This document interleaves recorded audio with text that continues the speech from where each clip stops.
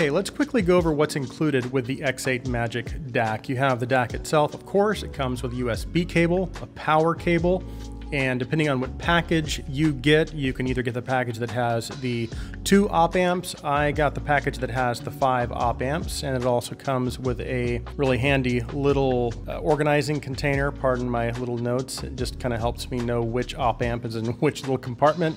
And then, of course, the tools uh, in which to change the op amps. Okay, so let's talk about the design, specifications, inputs, outputs, buttons, and knobs. We'll go over the design first. I like the design. I think this little curved cut-in is really cool looking. It kind of gives this a unique look. I like the matte black finish. It actually comes in a silver option as well. I like the little curvature it has on the top here. Uh, but it's a very kind of a minimalist approach. Uh, looks uh, very, very slick though. It looks really good actually when paired with the X7S amplifier that I have. Uh, so the design uh, aesthetic kind of follows through uh, several of their products. And um, when, when again, when stacked on top of another one of their products, uh, it just looks really, really sleek. I like it a lot. As far as the inputs and outputs and the buttons, we'll start with the front here. We've got the main volume knob. Here, of course, we have an input selector switch here. And of course, you've got your light indicators that, that, tell you which input you have selected. The A, B, C, and D tell you which filter option you have chosen.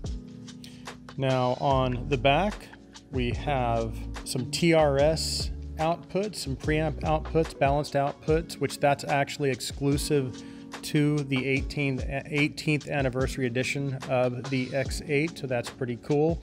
You also have your RCA preamp outputs, your RCA lineouts, coax, optical, your USB power input. This right here is, if you got the Bluetooth edition, this is where your uh, Bluetooth antenna would be here. You have your power connection here and your on off switch. And if you flip it over, you've got your little op amp compartment here. And I have the, uh, the cover off because I'm gonna be talking about that here in a minute. So it does actually have a cover with two little screws that hold this plate on. And now again, this is the X8 Magic DAC 18th Anniversary Edition. This one comes in at 299 and it comes with two op amps. You can get, that's package one. If you get package two, that comes with an additional three op amps and that costs $40. There is also a Bluetooth version. If you get the Bluetooth version with package one op amps, it's 329. If you get the package that has package two with the five op amps, then that brings your total to 369. Again, this is the non-Bluetooth version, but I did get the package two, so it came with the five op amps. And the op amps that it comes with, the stock op amp is the NJM 553 32DD. And again, with package two, it comes with the OPA 2604 and the OPA 2134, the Muses 01, which that's, that's actually the one that I ended up kind of settling on. I liked the sound of that one the best. And it also comes with the LME 49720. Now, something else that is really cool about this DAC is that it comes with FPGA architecture, which is pretty unique for a DAC at this price point. And what that stands for, FPGA, is Field Programmable Gate Array. So the FPGA architecture, basically what that does is that enables the op amps so they can change the sound signature. So that's pretty cool that it comes with that at this price point. This decodes up to 32 bits, PCM 768 and up to DSD 512. And we went over this while ago, but again, this is something that they added for the eight, uh, exclusively for the 18th anniversary edition is the TRS preamp balanced output support. So basically what you can do is add different amplifiers with the TRS inputs to your chain. This also has seven different filter options in addition to the swappable op amps. So between the filter options and the op amps, you have uh, quite a lot of different sound presentation options. Uh, so that's pretty cool also.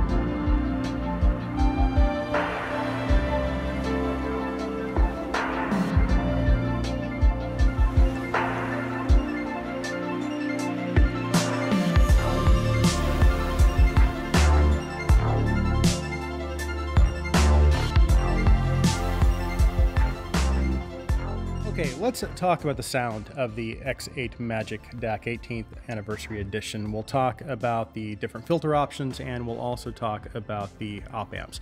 Now, when I sat down to test this, I wanted to make sure and first test it in its default mode. So with the default op amp in the default filter.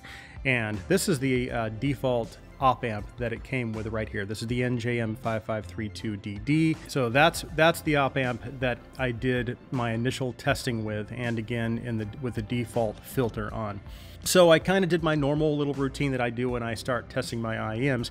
And with the default filter and the default op amp, uh, the sound is, is very good, very detailed, really good clarity. Everything was there. And again, again, with a neutral presentation, a linear presentation, that's not necessarily my favorite. I tend to uh, to like a warmer sound signature, so just a little bit. So this is a little more linear, neutral, not necessarily clinical, but it doesn't lean warm, doesn't lean cool. It's again very, very neutral, very linear, linear presentation. But everything else seemed like it was there. Again, good detail, retrieval, good sound stage, good sound depth, and didn't really notice anything missing. And it just sounded good. It allowed the IEMs to kind of keep their sound signatures. It didn't affect the sound of the IEMs. So that's one thing good about a linear or a neutral presentation is whatever the sound signature of your IEM or your headphone is, it's going to be able to maintain that. It's not going to affect the sound signature of your IEM or headphone. Now, so at that point, I started cycling through the DACs, kind of listening for differences between them. And so the first four that I tried out, I didn't notice a whole lot of difference. It seemed like they were all pretty similar for the most part, and it wasn't until I got to the Muses 01 that I actually noticed a pretty substantial difference. And basically, it seemed with the Muses 01, and that was the one I ended up settling on, it just had a little more dynamics and it had a little bit more note weight. It seemed like the it just had a, a, greater sense of musicality, sounded a little more natural. And that was actually the one that I ended up settling on. I didn't want to do a whole lot of op amp swapping, but I did I did enough to where I could get a uh, you know make sure I gave each one enough time to understand uh, the, the differences between them. And again, out of the four, out of the five, four of them sounded quite similar, and it was the Muses 01 that actually stood out to me, and that's the one that I have in right now. That's kind of the one that I kept in here. And also, on a side note, make sure that when you install this op amp, and it does say this on the little plastic bag that these come in, that this hole, uh, when you install the op amp, you got to make sure that you're paying attention to where this hole has to line up with a little notch on this side. Uh, so you make got to make sure you do that right. But anyways, and that's the reason why I didn't want to keep swapping these op amps out. It's and I know a lot of you guys will like doing that. A lot of you guys are tinkerers, and um, and some of you may even have other op amps, and you can actually use you know other op amps. There are other op amps out there. If that's your thing, if you like to swap out op amps and you want to try different sound signatures, you can do that. And again, you also have the different filters that you can try as well. And speaking of filters, I also did test out the different filters and like the op amps, there were only minor, very minor differences uh, between the different filters. I ended up just settling on the default filter. And now again, you can kind of mess with different op amp, different filter combinations if you want. This does give you a lot of options. Now let's go ahead and bottom line this. So for the 299 base price, you get two op amps included. And because it's the 18th anniversary edition, you also get the, uh, the balanced TRS preamp outputs, and you also get the FPGA architecture again, which is not something typically found at this price point. Now, and again, if you want to upgrade, pay the extra $30, you can also get the Bluetooth version.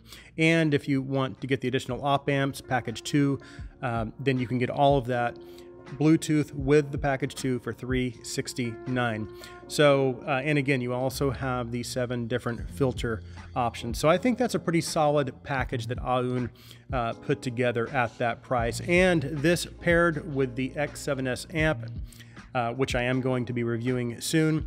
It makes just a great little stack. So again, I think Aune just uh, made something here uh, that is very affordable, has great sound, and a lot of great options if you want to, again, spend a little more and upgrade, upgrade to the Bluetooth or get the additional op amps. So that concludes my review of the Aune X8 Magic DAC 18th Anniversary Edition. Thank you guys so much for watching. Please like the video. Please subscribe to the Gizaudio channel. I hope you guys have an awesome day.